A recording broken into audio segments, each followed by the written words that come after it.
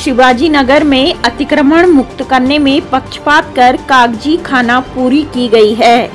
बिहार के समस्तीपुर ज़िले के शिवाजी नगर प्रखंड के अंतर्गत नरसिंगा ग्राम स्थित डुमरा मोहन मौजा में सरकारी ज़मीन को कुछ लोगों के द्वारा अतिक्रमण किया गया था, जिस पर नरसिम्हा ग्राम के योगेंद्र पासवान ने अतिक्रमण मुक्त खाली करवाने के लिए शिकायत किया था, जिसका अतिक्रमण वाद संख्या 11 2019-20 कुल नौ लोगों पर चला था।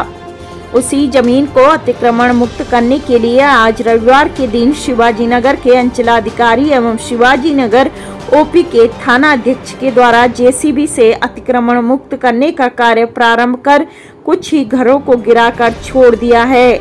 इस संदर्भ में आवेदक योगेंद्र पासवान ने नाराज़गी व्यक्त कर बताया कि सिर्फ़ और सिर्फ़ सिर्फ़ कागज़ी खाना पूरी कर कुछ घर को जेसीबी से गिराकर अन्य कई घरों को छोड़ दिया गया है। इसमें पदाधिकारी सरासर पक्षपात करने का काम किया है। उन्होंने इस मामले को पुनः जिलाधिकारी द्वारा जाँच कार्रवाई किए जाने की मांग किया है।